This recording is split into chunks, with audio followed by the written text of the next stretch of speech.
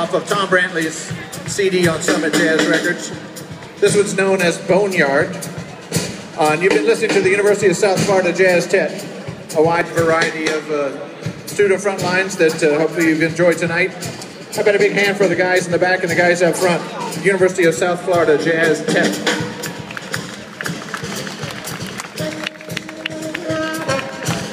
Thank you.